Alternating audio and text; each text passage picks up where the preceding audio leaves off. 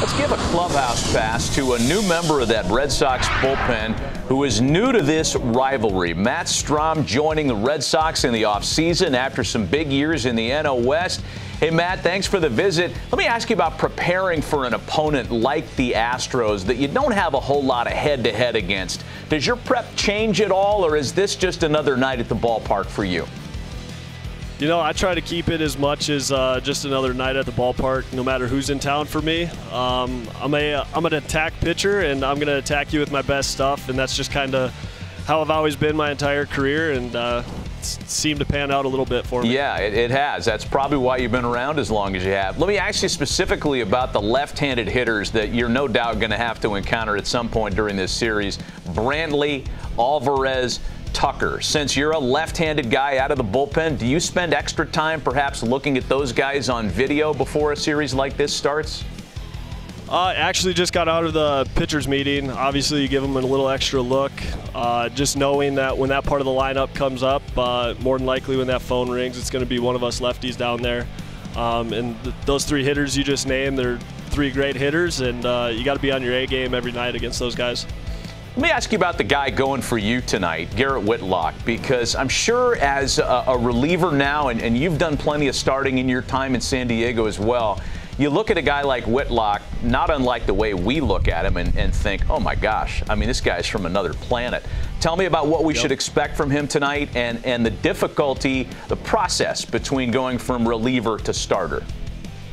Yeah, I mean, I I was early in my career. I was with that too, and uh, you know, something he's got going for him is he's such a level-headed kid and such a humble kid that he's just he wants the ball in his hand and he just wants to get outs whenever whenever AC wants him. But uh, you know, he's something special. I actually played catch with him one time in spring, and that was plenty for me because uh, it feels like he's delivering the ball like six inches into your chest. Like he's got such great extension, and the ball gets on you so quick. Uh, I feel bad for all those hitters, but uh, you know he's he's something special, and uh, the fans here in Boston are going to have a, a, fun time watching him over the next few years. That's awesome insight. He's hard to even play catch with with uh, in that oh, regard. Yeah, that's fun. Hey, one of the uh, most uncomfortable games of catch I've had. Excellent. Hey, uh, as far as home ballpark concerned, you you look very comfortable at Fenway.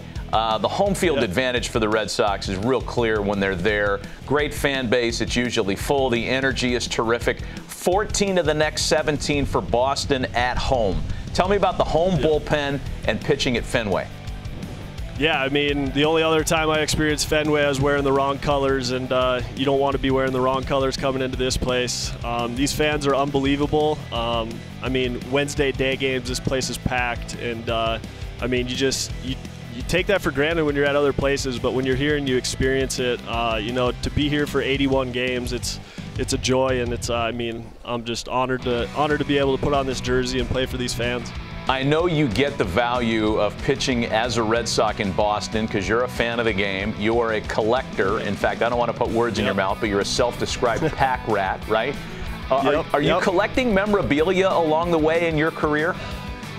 You know, I've I haven't been real big in that. I do get my teammates. I'm not one that I don't like to send stuff over to the other clubhouse and get stuff signed. Um, that's just the competitor in me. I don't want any guy thinking I like them when I'm going to face them in the box or anything. So, uh, you know, I just keep it between me and my teammates.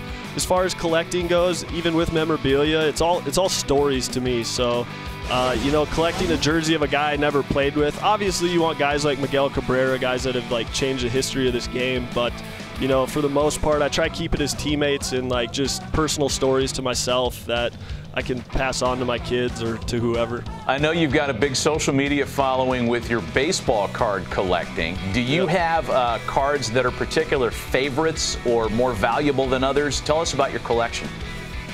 Yeah, so uh, actually, one of my favorite cards, uh, I do a little YouTube channel where I just open cards at every stadium I'm at, and uh, one of my favorite cards I hit was a Superfractor, which means it's a one-on-one, and it was an on-card auto of Pete Alonso. So that was that was kind of cool to hit a Superfractor. I mean, there's guys that have collected 20 years and have never hit one of those in their collecting lives. So to, to be able to do that, that was kind of cool, and to get it on video for everyone to see, that was that was fun. Nice. So you, you mentioned that you're you know you've got some collectibles, some personal things for your family. Um, I know that yeah. before you had a family per se, you were a dog owner that made that the priority in your life. How is the dog handling the fact that there's competition now?